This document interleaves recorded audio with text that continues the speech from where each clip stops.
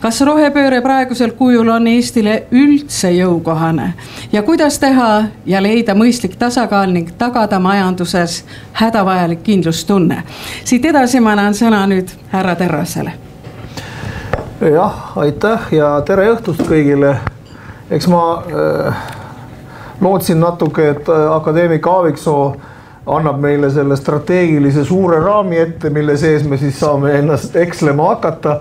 Aga niikaua, kui ta siia kohale tuleb, siis äh, mõne sõnaga, äh, mõne sõnaga sellest, mida, äh, mida nimetatakse erinevate nimedena nagu igal heal lapsel.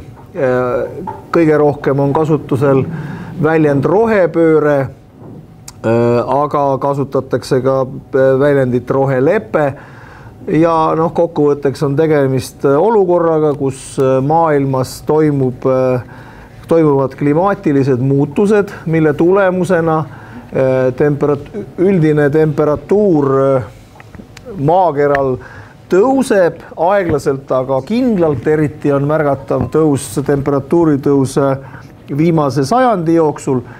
ja loomulikult titaanid võitlevad ja kaklevad selle üle, kas tegemist on puhtalt inimtekkelise kliima soojenemisega või on sellel mingid muud põhjused. Aga põhimõtteliselt seda, et kliima soojemaks läheb, keegi ju tegelikult ei vaidlusta. Ja sellel kliima soojenemisel äh, mõne, mõne kraadi võrra on erinevad äh, väga olulised tagajärjed, mille tulemusena maailma, toimuvad muutused maailma majanduses, demograafias ja, ja nendega, nende muutustega tegelemiseks või, või selle eh, kliima kiire soojenemise pidurdamiseks eh, on siis eh, maailma riigid kokku leppinud asju ka ÜRO raamistikus.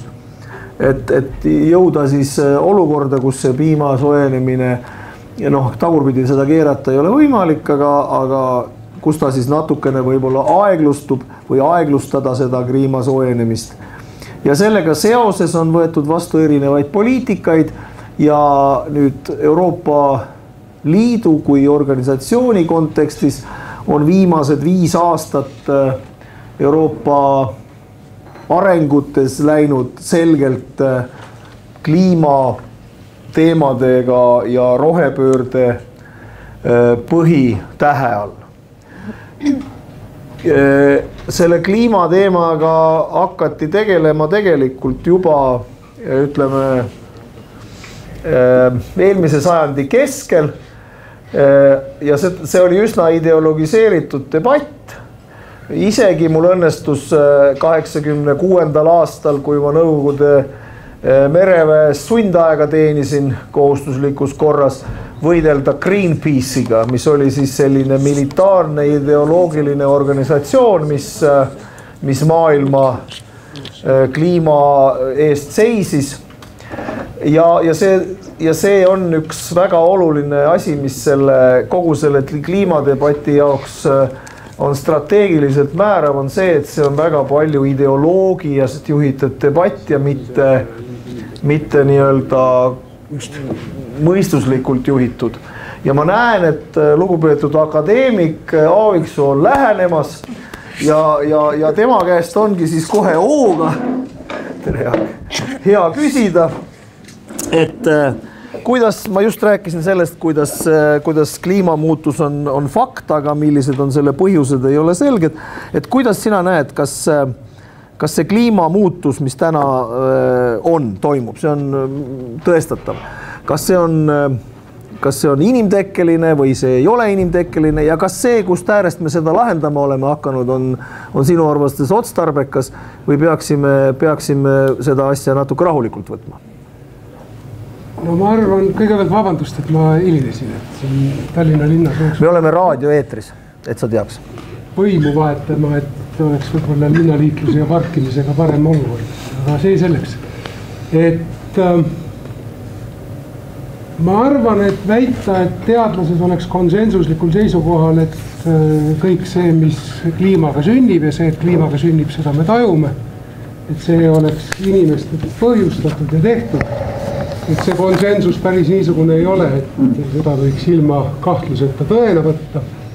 Äh, eelmises komisjonis oli asepresidendiks Franz Timmermans, keda võiks väga edukalt kutsuda ka külvi volinikuks oma ideoloogilise suunitluse poolest ja tema poolt suruti kogu komisjoni tegevus väga selgelt niinimetatud rohe, rohepöörde rööpasse. vaatamata sellele, et von der Leyen oma algses kõnes pidas äh, sellel hetkel oluliseks ka digitaliseerimist ja sellega seotud teemasid, siis tegelikult rohi, rohepöörde teemad domineerisid kogu selle komisjoni tegevust. ja meie poole teele, parlamendi poole teele lendasid mitmesugused initsiatiivid Äh, initsiatiiv, mille nimi on Farm to Fork või eesti keeles põllult põske, talust taldrikule. Äh, äh, igasugused looduse taastamise direktiivid, pestitsiididega võitlemise direktiivid, kõik põhiliselt põllumajandust puudutav, aga ka seesama eelmisel või sellel nädalal vastu võetud elamute renoveerimise direktiiv, mis siis sund paneb, paneb Euroopa inimesed oma, oma elamispinda sundrenoveerima ja maju sundrenoveerima, et soojustama ja nii edasi. et see kõik on kantud sellisest äh, meeleolust, et äh, paneme, anname need seadused välja ja vaatame, mis tuleb.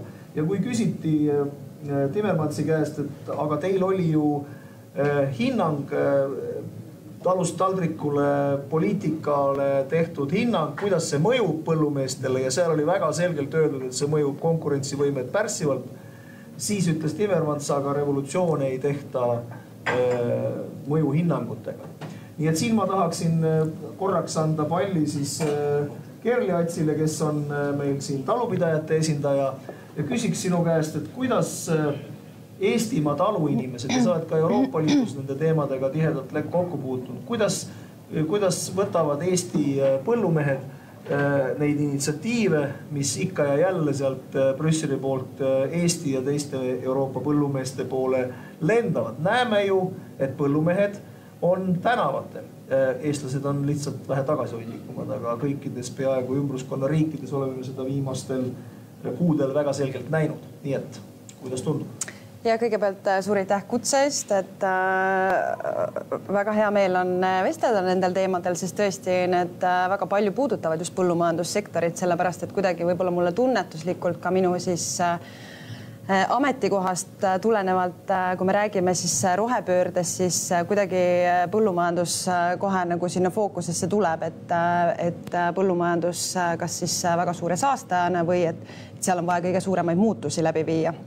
Et võib-olla ta lihtsalt on selles selles, mm, selles peavoolumeedias lihtsalt ja ütleme siis kogu sellises selles käsitluses rohkem. et aga loomulikult ja, et põllumajandustootjad on suhteliselt murelikult kõikide nendele algatustele siis äh, otsa vaadanud.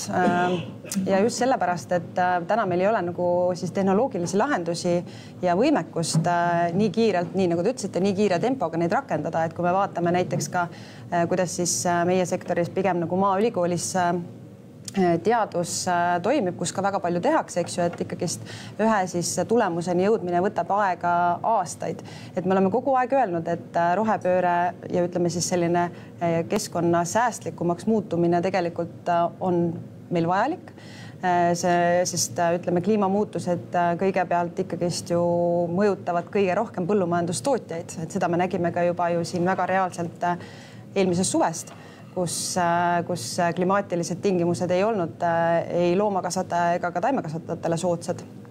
mille tulemusena täna ka tegelikult põllumajandustootjad äh, teatud mõttes raskustes on. et pigem ongi see mure selles, et seda teadmatust sulle kõige ümber on nii palju, et, et, et need ootused ja ambitsioonid meie hinnangul on kõrged et aga see ei tähenda seda, et me ei toetaks seda, et me peaksime muutuma säästlikumaks. just ja põllumajandustoodang on sellel aastal vähenenud Eestis seitsekümmend kaks miljonit, nagu mingid andmed ütlevad.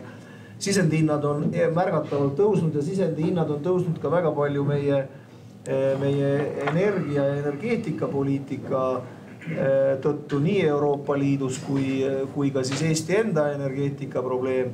ja Jaaguga me oleme seda energiateemat tegelikult eh, juba mingi paar aastat tagasi arutanud, tegime isegi riigikogus debati kui riiklikult tähtis küsimus kahe tuhande kahekümnendal aastal.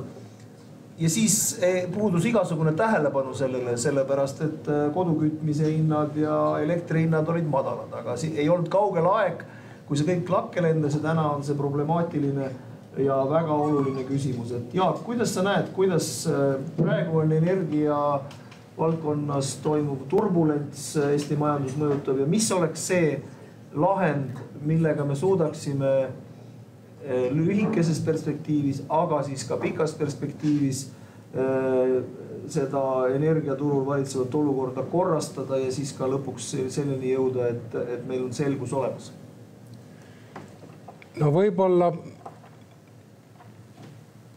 võib-olla sama sõnum, mis tervikuna ka sellesse rohepöördesse suhtumisel, et äh, me oleme viimase kolme-nelja aasta jooksul näinud energiapoliitikas nii palju tõmblemisi Euroopa Liidu tasemel. ja, ja tänaseks oleme ju olukorras, kus, äh, kus kõrvuti Ukraina rindeteadetega me jälgime ka energiahindasid, et kas, kas täna tohib sauna minna või ei tohi sauna minna, kas nõusid saab pesta hommikul või tuleb pesta õhtul, et see, see olukord ilmselgelt ei ole ju normaalne. ja need on tegelikult inimeste tehtud otsuste tagajärjed ja tõenäoliselt see arusaamine, et niimoodi jätkata ei ole võimalik, et see arusaamine jõuab ka, jõuab ka nende otsustajateni, kes Euroopa Liidu tasemel seda, seda minu arvates mitte kõige paremini ei ole juhtinud mis järelduse siis nüüd väike Eesti peaksid tegema, esiteks ega me, ega me ei saa põhimõtteliselt eitada kõike seda, mis tehakse, seda esiteks. teiseks me kindlasti peaksime käituma nii-öelda enam-vähem ühises arusaamises oma lähimate naabrite ja partneritega.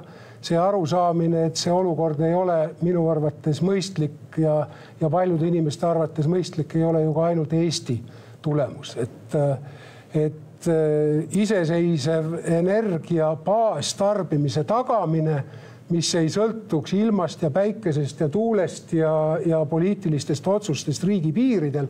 et see on igal juhul äh, vajalik lähtekoht ja see peab olema taskukohane ja ma arvan, et ma, ma kirjutaksin hea meelega alla sellele mõtteavaldusele, mida Juhan Parts täna või oli see eilses Maalehes eilses Maalehes väljendas, et ma, ma usun, et tema baashoiakud ja need vastused, mis ta andis, väga hästi kirjeldavad seda nii-öelda mõistlikku Eesti noh, maadligi mõtlemise niisugust paradigmat, et et kindlasti meil tuleb iseseisvalt neid otsuseid vastu võtta, kui jõudu jääb väheseks, siis teha seda ka koos teiste Balti riikidega. tuumajõupingutus kindlasti koos Balti riikide ja ka koos Soomega et see tuleb meile odavam, aga, aga, aga mina kuulun nende inimeste hulka, kes usuvad, et äh, tuumaenergeetiline lahendus äh, regioonis toimivas koostöös on pikas perspektiivis siiski kõige kindlam tee edasi. ja väga kriitiliselt tuleks suhtuda nendesse otsustesse, mida mida tehakse kümneks aastaks miljardite mahus kohustuste võtmisega, et see, see ilmselgelt ei ole vastutustundlik et noh, me teame ju seda, et meil, meil on eelarves probleeme saja miljoni leidmisega või isegi kümne miljoni leidmisega, et õpetajatele palka maksta. Ja samal ajal me suhteliselt ilma põhjendusteta, ilma kalkulatsioonideta võtame endale kohustusi kaks miljardit, et noh, see, see ilmselgelt on, midagi on paigast ära.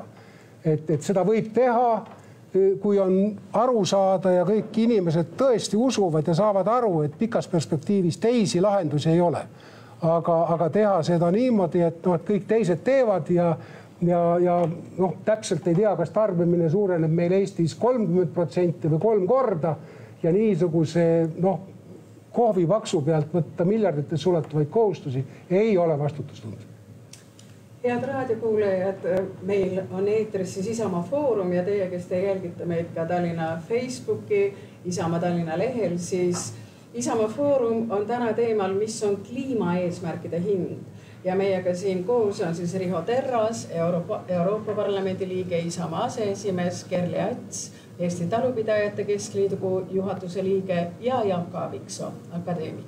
jätkame just, et energeetikas on tegelikult vaja, vaja nii-öelda pikka plaani, kui, kui siin utreerida. Aga, aga see peaks olema, põhinema mingisugustel analüüsidel praegusel hetkel Eestis sellist plaani ei ole, Euroopa Liidus ei ole Euroopa Liidu plaanimajanduse, mis oli, oli pika plaaniga Vene, Vene gaasi otsas lõi Ukrainas Venemaa rünna, ründamine Ukrai-, vabandust. Venemaa Ukraina vastane rünnak, sõda Ukrainas lõi, lõi täiesti nii-öelda tasakaalust välja tormati otsima alternatiivseid lahendusi, need on nüüd kuskilt pidi ka olemas, aga mingit väga kindlat selgust ei ole. loomulikult on üks võimalus tuumaenergeetika. ma ise käisin, et selgust saada, käisin ka Soome erinevates nii-öelda tuumaenergeetikaga seotud, seotud ettevõtetes ja organisatsioonides Eh, ja sealhulgas ka selles tuumajäätmete ladustamise maa-aluses eh, laos. ja, ja seal sai mulle selgeks, et tuumaenergeetika üks võtmesõnu on, kuhu ja kuidas seda eh, tuumajäätmeid ladustatakse ja see on, see on üks valdkond, kus riigid väga suurt koostööd või põhimõtteliselt koostööd ei tee. et kus riigis see see tuumajaam on, seal tuleb neid tuumajäätmeid äh, hoida ja selle hoiu äh, ja siis see, kes selle hoiu kinni maksab, on siis antud kontekstis oluline. kui see jääb riigi kanda, siis võib juhtuda, et see kõik on meile raskesti, äh, raskesti kinni makstav. et see peaks olema kindlasti nende diskussioonide osa, aga täna on see kõik ainult heitlik, hüplik arvamine sest äh, tegelikult väga selget äh, lahendust ei ole ja ei ole ka juhitavaid võimsusi. ja, ja mina olen olnud alati äh, ka Eesti omamaise, omamaise tooraine pooldaja nii põllumajanduses kui, kui ka energeetikas ja arvan, et kui pea sada aastat või isegi üle saja aasta on, on põlevkivi Eesti majanduse üks alustalasid olnud, siis seda kergekäeliselt kõrvale lükata minu arust mõistlik ei ole. ja, ja kindlasti moodsate tehnoloogiatega võimalik ka, ka põlevkivist tulevat kasu, kasu Eestil edasi saada. või mida Jaak arvad sa Eesti põlevkivist? no eks siin on kaks, sellel mündil on nagu kaks tahku, et kui üks on see tõsiasi, et äh, me oleme energeetikas Euroopa Liidus loonud, moonutanud seda turgu sel määral, et majanduslikus mõttes on väga raske otsuseid teha, sest me ei tea, mis asjad tegelikult maksavad.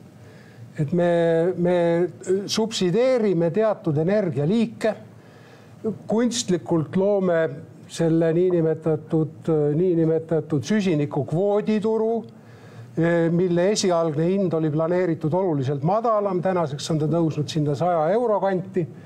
et eh, sellises olukorras puhtalt majanduslike otsuste tegemine on erakordselt keeruline. ja, ja tõsiasi, et eh, meie endi loodud tingimustel põlevkivielekter ei pääse enamusel ajast turule vastab tõele ja selles mõttes Eesti Energia ja põlevkivi tootmisvõimsused Auvere sealhulgas on väga raskes olukorras. teisest küljest meil on päris selge ja ka poliitilisel tasemel on ju ammu otsustatud, et reservvõimsustena me peaksime seda e, tootmisvõimsust üleval hoidma ja reservvõimsuse üleval hoidmine maksab ka midagi. nii et, nii et selles mõttes e, meil kindlasti ei tuleks e, nii-öelda hurraaga kinni panna põlevkivi tootmisvõimsusi kunstlikult. ja kindlasti tuleks kaaluda neid võimalusi, kus saaks ühitada siis põlevkivist energia tootmise teiste põlevkiviväljunditega, kaasa arvatud tsemenditööstus siis äh, süsiniku püüdmise tehnoloogiad, mis, mis arenevad üsna kiiresti. täna on ühe tonni süsiniku või CO2 kinnipüüdmise hind hästi jämedates joontes kakssada eurot tonn kui me vaatame, et ta on sada eurot, on, on kvoodi hind, siis, siis vahe on kaks korda, ehk siis päris kinni püüda ei tasu. aga mis on kahe aasta pärast, me ei tea või kolme aasta pärast ja kolme aasta pärast ei ole meil ei tuumajaama ega ei ole siin ka muud niisugust võimsust, mille me saaksime siis selle baastootmisvõimsuse asemele tuua, nii et ma arvan, et jah, me peame, peame panema pikad rööpad maha, kindlasti ei tohi põlevkivisse suhtuda nii-öelda põhimõtte ideoloogiliselt negatiivselt. See tuleks säilitada ja aktiivselt otsida võimalusi selle energeetilise ressursi majanduslikult mõistlikuks kasutamiseks ka energeetikas, mitte ainult õli tootmises, vaid ka vajadusel elektri tootmises. see on üks nendest kodumaisetest äh, varadest, aga kindlasti on, on üks nendest ka kodumaine äh, põllumajandus. Ehk et äh, see, mida, mida meie põllumehed toodavad, on see, mida me kõik sööme. Ja kui on öeldud, et, et miks minu käest on küsitud, et miks sa Terras selle põllumajandusega tegeled, et ainult kaks protsenti Eesti elanikkonnast on põllumehed ja nende, nende vaeva peale ei tasu ju vaadata, siis ma olen alati vastanud aga, aga sada protsenti Eesti inimesi söövad ja eelistaksid süüa eestimaist toitu, kui see võimalik on. nüüd kõik need erinevad määrused, mis sealt eriti põllumajandusteemadel alla tulevad piiravad seda kodumaise toodangu konkurentsivõimet üsna märgatavalt. Noh, kuni selleni välja, et täiesti sirgete nägudega inimesed räägivad sellest, et reemad, lehmad peaksid vähem peeretama. Noh, ikka üsna, üsna kummaline nii et mina küsiksin Kerli sinu käest, et kus sa näed, kus on need kõige suuremad murekohad Eesti põllumeeste jaoks, mis puudutab neid roheinitsiatiive ja määrusi, mõned nendest lähevad läbi, mõned ei lähe läbi. aga aga, aga kindlasti on see ka järgmises komisjonis teemaks, me püüame seda vähendada või mõistlikuks suruda, aga see ei pruugi alati nii minna. nii et kus sa näed, kus on Eesti põllumehe jaoks need kõige suuremad kitsaskohad täna ja praegu? no kõige suurem kitsaskoht ongi, et iga uue määrusega tulevad, äh, tulev ja tulenevad reeglid äh, tegelikult suurendavad bürokraatiat, millest tegelikult põllumajandustootjad täna, nad ei suuda isegi enam navigeerida selles, et äh, et äh, kui me vaatame ka siis äh, alustades siis eelmise äh, ÜPP läbirääkimisi, mis siis on meil maaelu arengukava üks, ühe osana, et ma väga täpselt mäletan, et selle fookuses oli lihtsustamine. me räägime kogu aeg, et meil on vaja lihtsustada mis see tegelikult täna endaga kaasa on toonud, mul on hea, hea tuua selle näite, et meie üks liige lihtsalt ütles, et siin on väike näide, et eelmine programm, programmperiood ma sain siis äh, ühtset pindalatoetust, äh, siis on rohestamise toetus, mis oli selle pindalatoetuse komponent, millel oli siis oma tingimuslik ja siis oli mahetoetus, siis täna ta pidi taotlema kaheksat erinevat toetust. see kaheksa erinev toetus, mis tegelikult summa, summa siis toetusühikult hektari kohta oli ka väiksem, sest paratamatult, kui me anname väga palju erinevatesse meetmete raames, siis tegelikult see summa väheneb, siis selle iga kaheksa erineva ju siis toetusmeetmel on oma määrus, omad reeglid, millega siis põllumajandustootja peab siis äh, arvestama, rakendama. Et äh, kuidagi äh, noh, ütleme lihtsa põllumajandustootja jaoks, kes iga päev on põllul, ta teeb oma tööd, peab ka kogu sellest bürokraatiast läbi närima, et see on väga suur väljakutse. et me saame kõik aru, et me peame Äh, meil on seatud eesmärgid, me ka algusest saadik rääkisime nende läbirääkimiste osas, et, äh, et need on natuke ambitsioonikad, mitte natuke, need on ambitsioonikad eesmärgid, äh, milleks tegelikult ei ole ka rahalisi vahendeid, et kompenseerida seda, mida siis põllumajandustootjatel tegelikult nende rakendamisega saamata jääb ja ütleme siis see kogu see turuolukord, mis täna veel on ja kogu see olukord äh, alates siis äh, Covid kriisist kuni siis tõesti selle, selle sõjani Ukrainas, äh, mis on väga palju äh, mõjutanud äh, siis äh, turul toimuvat. ja lisaks selle bürokraatia toetuste vähendamisega ikkagist me näeme, et täna on äh, põllumajandussektor väga suures kriisis äh,. meie enda liikmetes just väiketalud äh, sulgevad oma uksi, väiketöötlejad ja, ja see on süvenev et eh, noh, ma ei taha öelda, et, et see on selle kõige tulemus, aga, aga see kõige, selle kõige koosmõjul eh, on lihtsalt paratamatult nii negatiivsed mõjud põllumajandustootjatele, alates sellest, et põllumajandustootjad vaevlevad siis väga suure töökoormusega, tegelikult ütleme, teevad seda miinimumtöötasu eest, kui me räägime väiketootjate eest.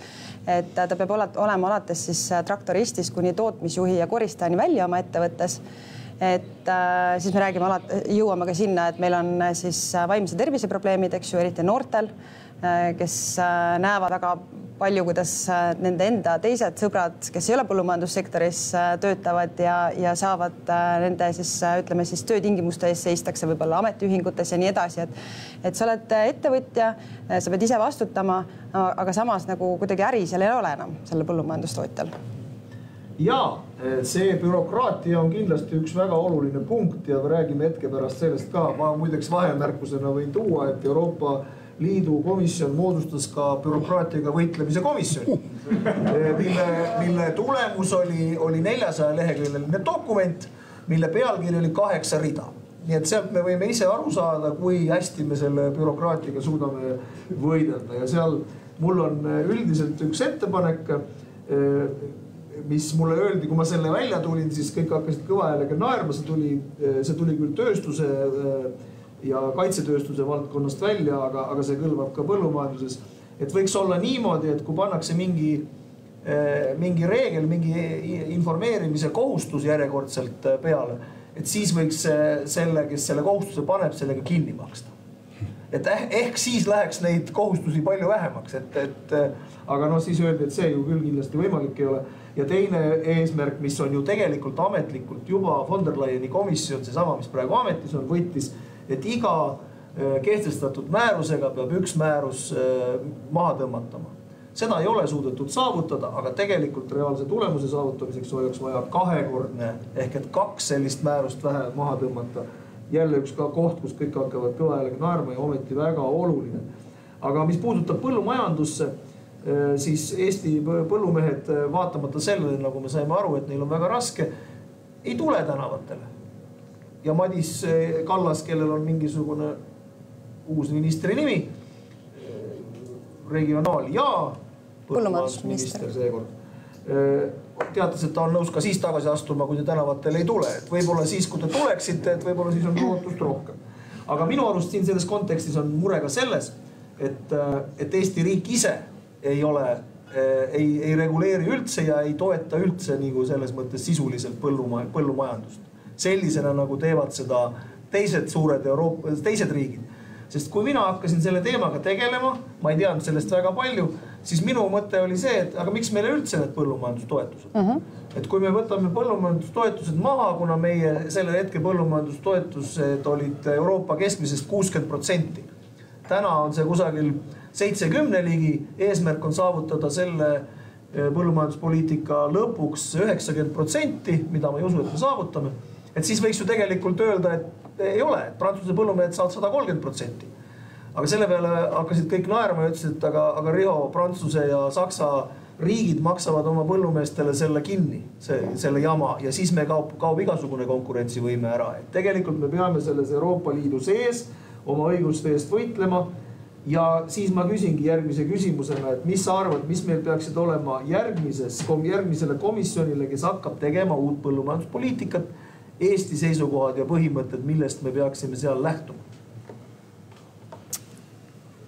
see on väga hea küsimus, ma kõigepealt klaariks võib-olla selle protesti küsimuse ära, sa oled mitu korda sellele viidanud, et miks ei ole Eesti põllumajandustootjad tänavate peal. et äh, eks me oleme, me, me oleme aru saanud, et põllumajandustootjatel on väga suur probleem, meie enda liikmed seda, seda ütlevad ja, ja, ja oleme ka viinud läbi erinevaid küsitlusi oma liikmeskonnas, et kui palju siis äh, tegelikult on valmis täna tänavate peale minema ja meie liikmete tagasiside põhjal me ikkagi saime, täna meie liikmed usaldavad siis oma organisatsiooni läbirääkimistele eh, mida me oleme ka alustanud, meil on olnud väga sisulisi läbirääkimisi erinevate teemade osas ja, ja tegelikult äh, täna ka ministeeriumiga üritame leida neid kohti, kus seda bürokraatiat oleks võimalik vähendada. et äh, eks see siis äh,, eks me siis lõpuks näeme, kui edukad need esindusorganisatsioonid on olnud, et kas põllumajandustootjad jõuavad tänavatele või mitte aga mis on äh, need Eesti seisukohad, eks ju, et äh, loomulikult äh, me tahame võrdseid tingimusi ka teiste põllumajandustootjatega üle Euroopa, me oleme ikkagist ühisturul, eks ju. Meie, meie tootmine juba meie klimaatilistes tingimustes, geograafilistest tingimustest on kallim kui seda võib-olla mõnes teises lõunariigis.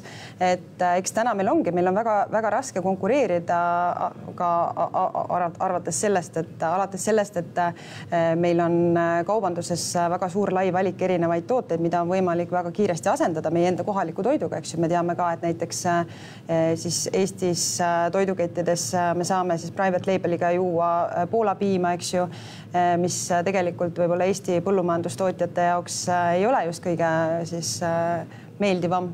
Et nemad peavad oma piima siis eksportima siis välisriiki toorpiimana, mitte siis seda ka kohapeal väärindades, et selles osas on ikkagist meil tehtud olulisi samme uue piimatööstuse osas, et et, et eks, eks see suund on ka sinnamaa, sinna jõudnud, et kui me suudame siis kallima lisandväärtusega siis toota ja seda ka eksportida, sellest kõrgemat väärtust saada, et siis võib-olla see põllumajandusel on, on parem, aga samas kõige esimene peaks olema ikkagist oma äh, siis rahva äh, toiduga varustamine, et äh, meie liikmeskond küll ka väga palju tegeleb siis otseturustamisega, et meie väikeliikmed tegelikult müüvad siis otse oma talust siis tarbijatele erinevates platvormides.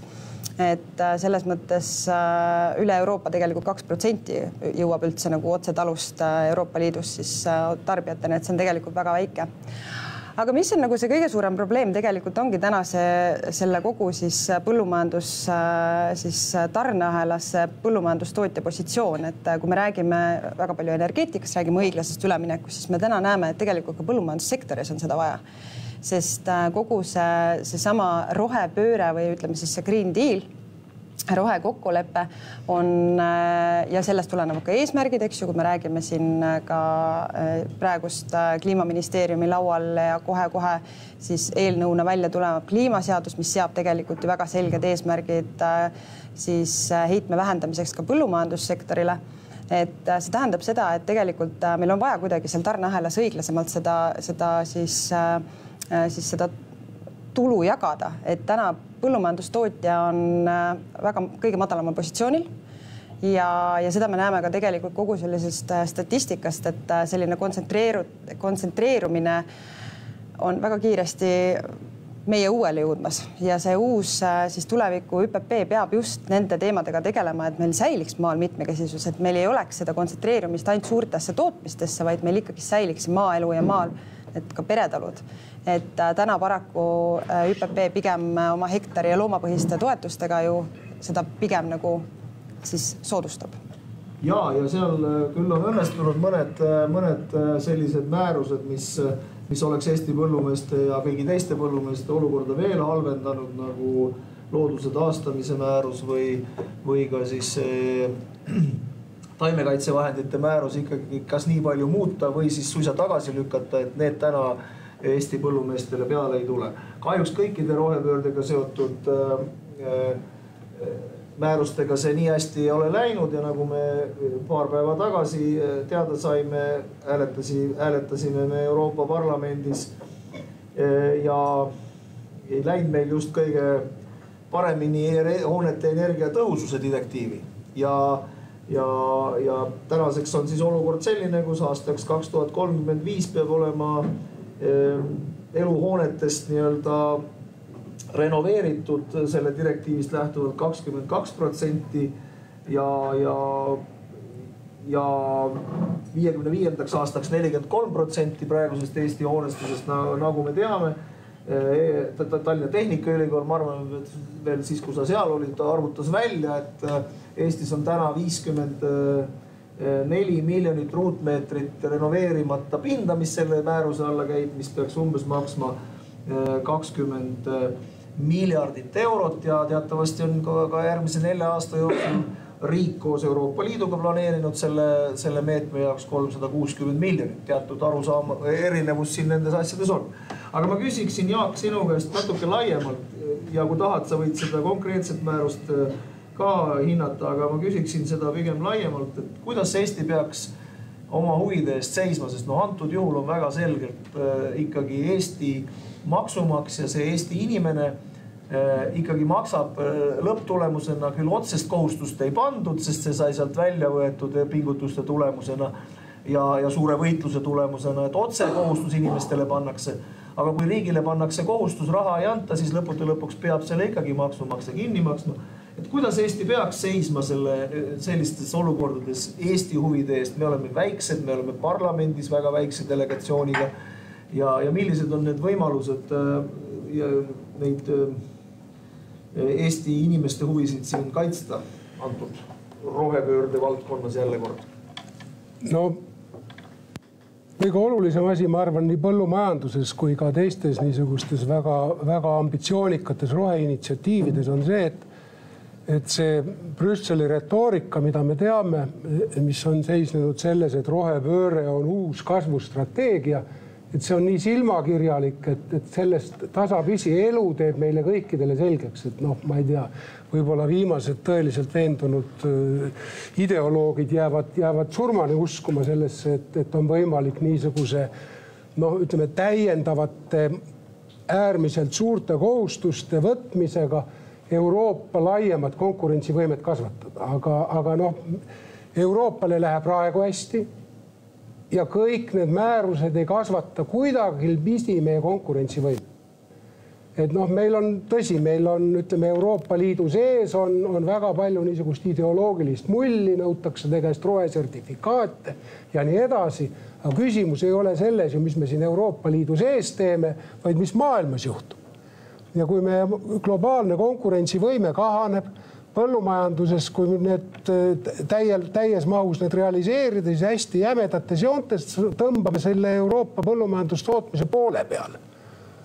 No neljakümnendaks aastaks enam-vähem poole peale Eestis, et, et noh, me ju saame aru, et, et kuidasmoodi selline samm saaks meie konkurentsivõimet kasvatada. et kindlasti juba enne, kui seda asutakse nii-öelda realiseerima kui ühel hetkel tulevad need arvutused äh, lauale ja ma arvan, et üks olulisi asju ongi selles, et tuleks siiski nõuda nii poliitilisel tasemel kui ka siis, äh, siis erinevates valdkondades arvutusi, mis see maksab, see on kõige kesksem küsimus, et meil lihtsalt, lihtsalt objektiivselt ei ole raha, vahe ei ole selles, kas inimene ise maksab ja maksumaksjal ka ei ole seda raha. Et noh, kust me selle võtame, hästi jämedates joontes. Üks äärmiselt hea uuring on, mille tegi globaalselt selle täiendavate kulude osas McKinsey, kes ütles, et täiendavad kulud on neli protsenti SKP-st kakskümmend viis aastat järjest, no aastani kaks tuhat viiskümmend, neli protsenti SKP-st neli protsenti SKP-st on praktiliselt globaalselt kümme protsenti täiendavaid avaliku sektori kulutusi. Seda raha ei ole põhimõtteliselt, me, me võime kokku leppida, me võime allkirju panna, me võime määrusi, me võime seaduseid vastu võtta, aga seda raha ei ole olemas. Ja mis me tekitame, tekitame suure segaduse ja need, kes kohusetundlikult täidavad neid reegleid, need saavad kõige rohkem kannatada. et see on nagu üks asi, kus peaks, kus peaks väga selgelt panema rõhuasetuse just nendele arvutustele, et noh, tõenäoliselt kliimaseaduse käigus mina ei usu, et konkreetseid nõudmisi suudetakse parlamendis sinna kliimaseadusesse sisse kirjutada aga mis iganes sinna sisse kirjutatakse, ka põllumajandusele tulevad või metsandusele tulevad või nende turvasmuldade, eh, turvasmuldade metsastamise nõuded või, või soode taastamise nõuded. et kui need arvutused pannakse laua peale siis me saame, siis me saame näha, et meil on vaja ikkagi sadades miljonites igal aastal erinevate poliitikate toetamiseks täiendavaid vahendeid leida. seda raha ei ole lihtsalt olemas. Et selles, see nagu võiks olla see, see nõudmine ka poliitilisel tasemel ja nii palju, kui meil on, ütleme eh, siis, siis ka erakonnal on võimekust, ekspertiise või kolleege, et, et rõhuda just sellele, et nende majanduslikult põhistatud argumentidega minna selle vastu ja, ja ühendada oma jõud teiste riikidega, kus samad protsessid käivad. ega Soome, Rootsi metsandus ei ole paremas seisus, nad on ju täpselt samasuguses seisus, et, et kui me, kui neid, kui neid kohustusi võetakse, eks ole, Holland, kes kolmsada aastat tagasi oma metsad maha raius, eks ole, võib täna ju ükskõik missuguseid poliitikaid välja hõigata, aga teised riigid on ju oma, oma ressursiga hoopis mõistlikumalt ringi käinud, et see lihtsalt ei ole realistlik, nii et mina jah kutsuksin hästi-hästi maad ligi, hästi praktiliselt ja majanduslike argumentidega, et noh, et, et mis me siis on, et et, et õiglase ülemineku fond, eks ole, antakse kolmkümmend või kolmsada miljonit, eks ole. see, see jaotatakse aina rohkemate inimeste vahel, et alguses oli ainult energeetika, nüüd siis lõigatakse seda kolmesaja miljonilist torti, eks ole, põllumeestele, siis metsameestele, siis minu pärast veel siis majaomanikele või kellele iganes. raha ju kuskilt juurde ei tule et see nagu on kõige-kõige tõsisemalt võetav argument ja ma arvan, arvan ise, et, et meil ei maksa muretseda, just nagu kõik ülejäänud Euroopa riigid oleksid õnnelikud ja ainult meie võitleksime siin jäärapäiselt selle vastu, et tegelik seis ei ole selline, need probleemid on kõikides riikides üleval, igal pool on oma spetsiifika ja me peaksime hästi praktiliselt suhtuma sellesse argumenteeritult ja mitte tormama esirinda, vaid tegema selle, mis on mõistlik mõistliku kiirusega ja ühel hetkel, kui vaja, ütleme ka, et stopp, siit edasi me enam ei lähe, ei lähe põhimõtteliselt. eetris on siis Isamaa Foorum, räägime teemal, mis on kliimaeesmärkide hind. viimane veerandtund on praegu käimas ja laua taga arutamas on Riho Terras, Kerli Ats ja Jaak Aaviksoo. jätkame siit.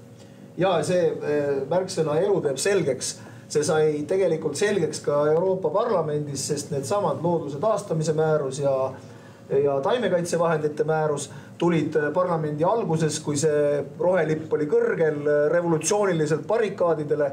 ja siis nendesamade inimeste poolt siis lõpuks visati nad tagasi komisjoni, sest et valimised olid lähemal ja juba pidi hakkama otsustama ka nende asjade üle selliselt, et kas me siis uuesti valitud saame või mitte ja praegune perspektiiv on see, et rohelised kui äh, kui Euroopa Parlamendi üks gruppidest kaotavad üsna oluliselt oma toetust just tänu sellele fanootilisele äh, rohestamisele ja rohepöördele.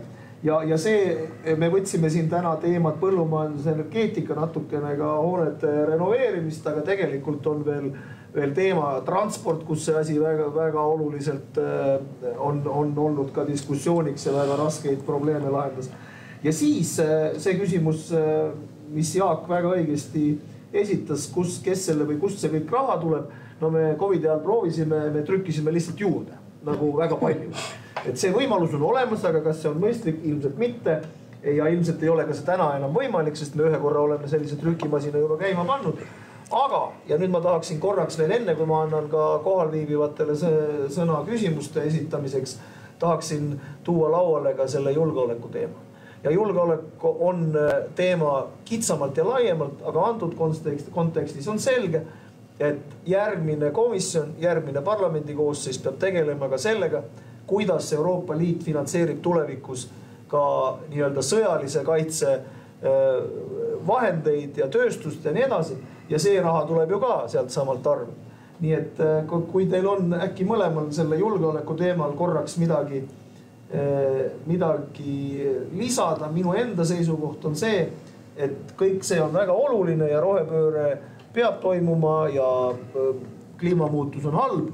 aga veel palju halvem on see, kui me, kui me kaotame Ukraina sõja ja, ja Putin võidab ja on, on meile äh, musta hirmuna kuklas ka järgnevatel aastakümnetel, nii et äh, kuidas te suhtute sellesse julgeoleku teemasse tänases Euroopas? soovid sa alustada? ei, ma ei tea, ma võin alustada ka, aga ei, ma pakun daamidele. porgandi julgeolekust kõigepealt. jah, porgandi julgeolekust ma oskan rääkida, aga selles mõttes loomulikult julgeoleku teema meid kõiki puudutab, äh, kõiki kodanikke Eestis, kaasa arvatud mind. loomulikult mina oma igapäevasest tööst äh, tulenevalt olen rohkem kokku puutunud äh, tõesti toidujulgeolekuga ja ja, ja see on üha rohkem tegelikult meie töölauale tulnud ja ma arvan, et tegelikult ka see on väga õige, et äh, Covidi, äh, Covidi siis äh, ajal esimest korda ja, ja nüüd üha, üha enam, et ma tean ka, et Eestis tegelikult ju tegeletakse sellega, et luuagi strateegilist dokumenti et äh, kuidas ikkagist äh, sõjaolukorras ka see toidujulgeolek tagada või ütleme inimesi siis äh, kodanikke ikkagist toiduga varustada sellel perioodil, et ma arvan, et need on väga-väga olulised, olulised sammud samas äh, ma ise näen äh, toidujulgeoleku osana see, et meil säiliks maaelu mitmekesisus, et meil ei kontsentreeruks tootmised ainult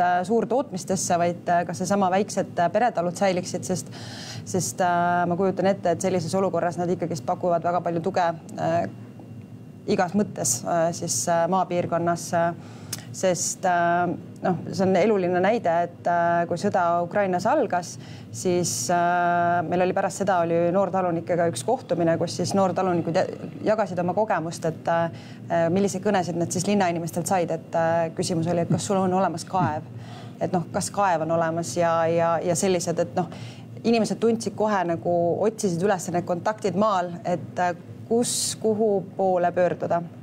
Et selles mõttes ma arvan, et me peame ette valmistama kindlasti äh, selleks äh, see kodanikukaitse ja kodanikukaitse ja, ja selline kaitsetahte temaatika on kindlasti väga olulised. aga samas me peame ka säilitama selle, et meil oleks tagatud toidujulgeolek. ja selle nimel ka tegelikult äh, Talupidajate Keskliidus me tööd teeme, et, et see mitmekesisus maapiirkondades säiliks ja, ja see toidujulgeolek ei väheneks. et ähm selle niinimetatud kõva julgeoleku vundament ju tegelikult ongi toidujulgeolek ja energeetiline julgeolek. et meil on energi-, energeetilist ressurssi, et me suudame oma kodud soojaks kütta.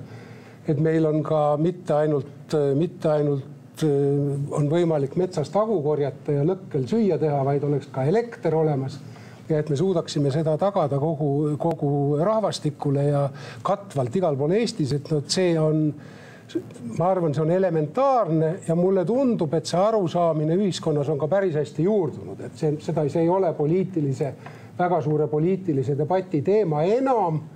ja mõnes mõttes see vahepeal kõlanud ettekujutus, et, et kui meil on hästi head kommunikatsioonid, olgu siis energia saamise mõttes või ka toiduainete jaoks, et siis sellega kõik meie probleemid on lahenenud, et see Covidi kriisis ja, ja pärast Ukraina sõja algust on saanud suhteliselt laiapindse vastuse, et siin ei ole nagu probleemi. aga, aga mis puudutab äh, Euroopat laiemalt ja noh, Eestil ei ole mitte mingisugust alternatiivi oma kõva julgeoleku seest seista väljaspool Euroopa Liitu ja NATO-t. tähendab see, see illusioon, et kuidagi on veel mingisugune teine võimalus. see, ma arvan, on, peaks ka olema väga selge, aga, aga jätkuvalt tuleks seda ka rõhutada, sest minu meelest on siiski meil poliitilisi jõude ja, ja liikumisi, mis kujutavad ette lihtsustatult ja, ja võib-olla üheksateistkümnenda sajandi eeskujudele üles ehitatult, et mingi neutraliteet või täielik, täielik rahvuslik sõltumatus tema kõige äärmuslikumates vormides meile midagi annaks. aga nüüd, mis Euroopat puudutab, siis siin on, ma arvan, selle asemel, et, et karta konservatiivide võimuletulekut Ameerikas ja kritiseerida Trumpi, tuleks pigem kuulata tema kõige olulisemat sõnumit eelmisest ajast. et Euroopa, võtke jalad kõhu alt välja ja ehitage üles oma iseseisev kaitsevõimekus.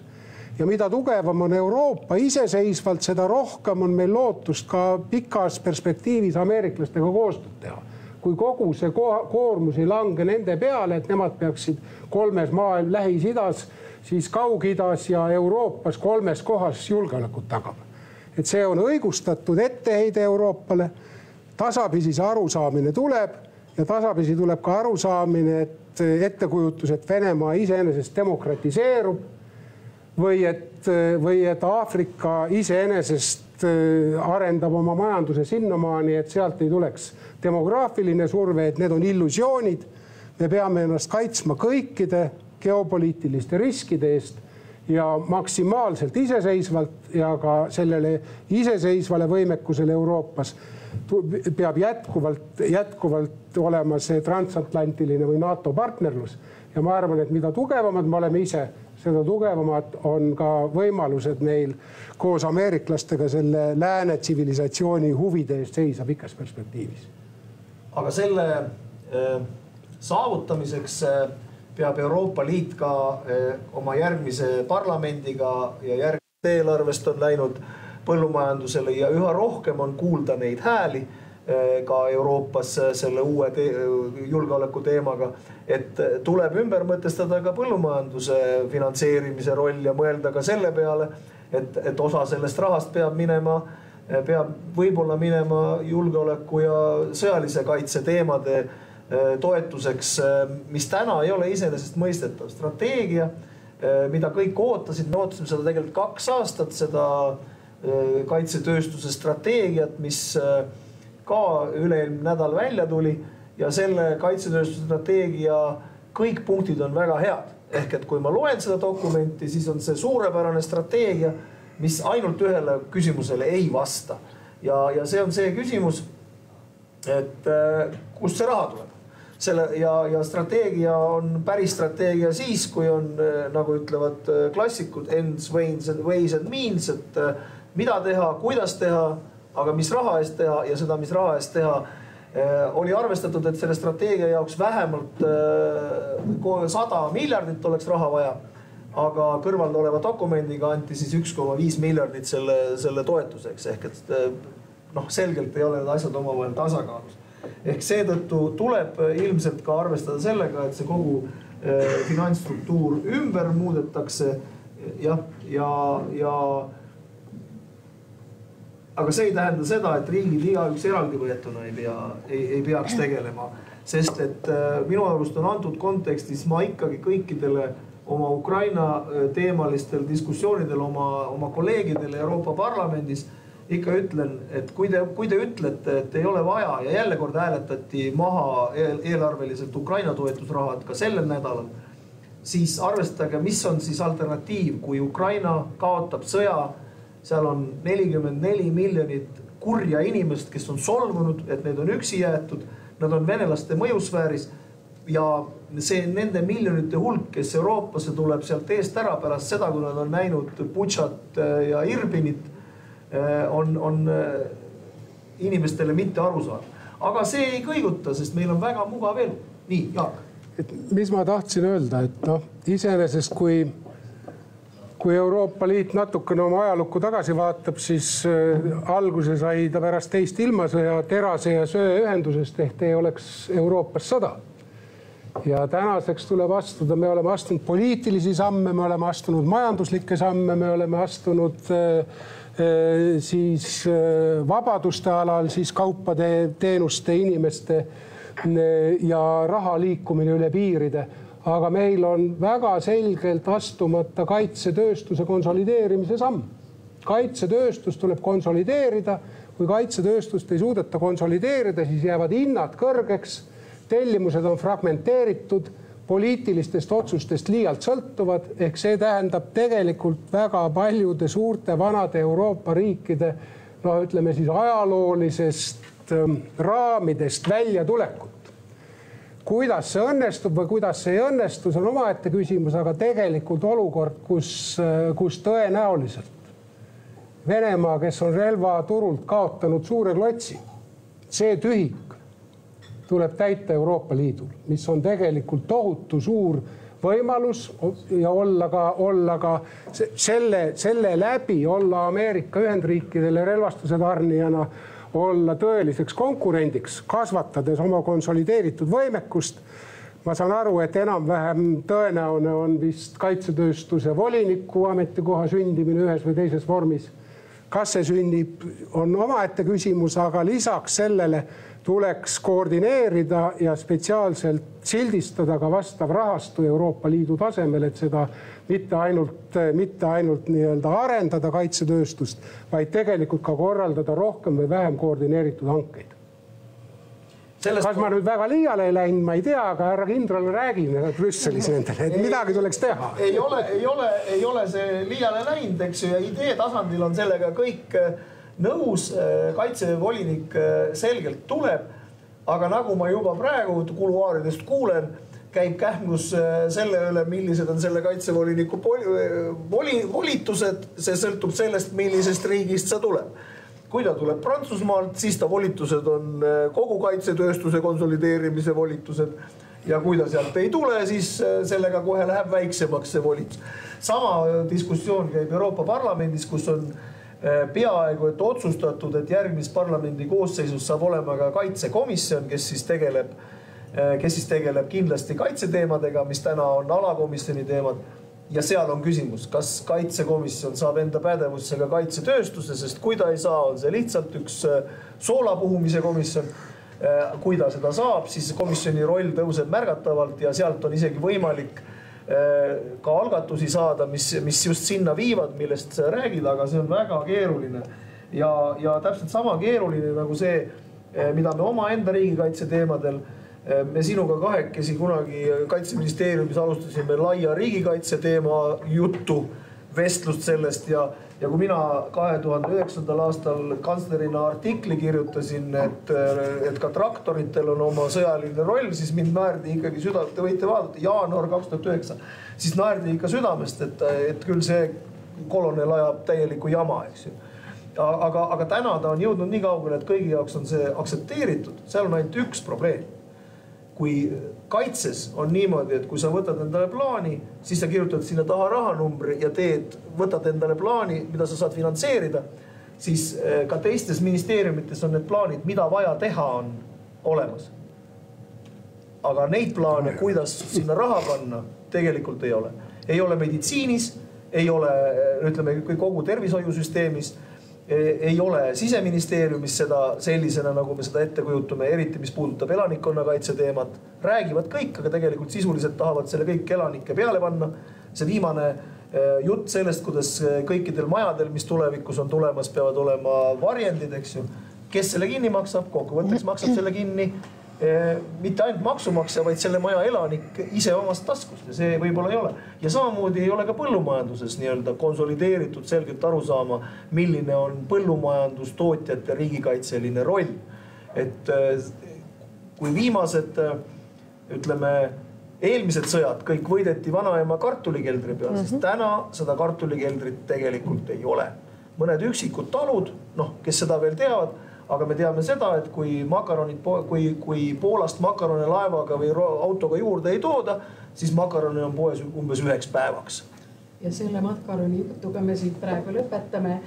hea raadiokuulaja, suur tänu teile, et olite meiega, Isamaa Foorum oli eetris, mis on kliimaeesmärkide hind ja teile rääkisid Riho Terras, Kerli Ats ja Jaak Aaviksoo. Isamaa Tallinna Facebooki lehel me jätkame ja mul on hea meel siis kõigi teiega, kes te olete siia täna kogunenud sellesse äh, saali, et ma paluksin, et te esitaksite küsimusi. kellel on neid küsimusi, siis tulge siia mikrofoni juurde, nii et head aega raadio ja jätkame Facebookiga